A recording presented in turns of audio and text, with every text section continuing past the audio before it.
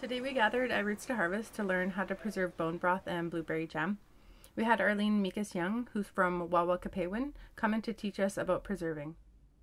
We started the day off with an elder opening and Jessica and I talking about how our days are going to be going. We started off by making bone broth by putting bones in boiling water and adding different vegetables and spices to give it flavor.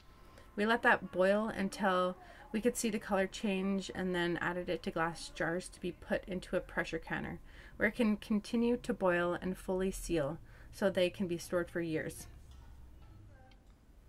The importance of bone broth and preserving bone broth is that we are hunters and gatherers, and by using the full animal, we're honoring its life and making sure nothing goes to waste.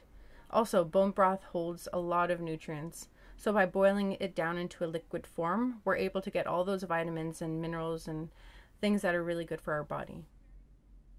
A few of us went blueberry picking before this workshop so that we could experience the whole process of gathering blueberries to make blueberry jam together.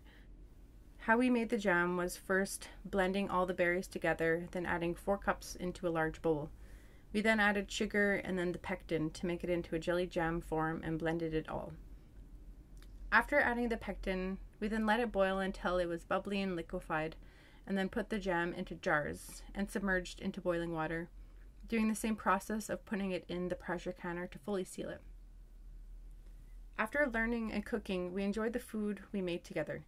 It was even more delicious having spent all those hours picking the blueberries, making the jam, and eating together. It was a very special moment and a great day. Miigwech to everyone who came out this day, uh, to the youth, to the elders and knowledge keepers, and Arlene Mikas Young.